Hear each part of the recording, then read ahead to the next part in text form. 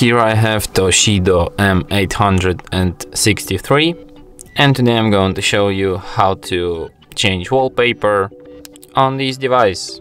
So firstly you have to open settings, then go to the display section, then go to the wallpaper. You can select one of the live wallpapers if you have some installed on your device.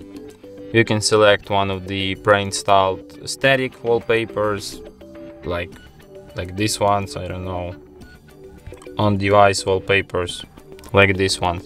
Or you can just set up any other image that you can download from the internet or just take a picture with camera in your tablet and set it as your wallpaper by going to my photos. Here you can select the photo which you want to set. Um,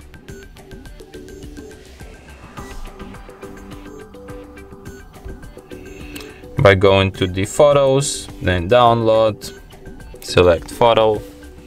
Here you can adjust this image. And then tap set wallpaper then select if you want to set it on home screen on lock screen or on both screens and as you can see wallpaper changed so yeah and that's it. Thanks for watching.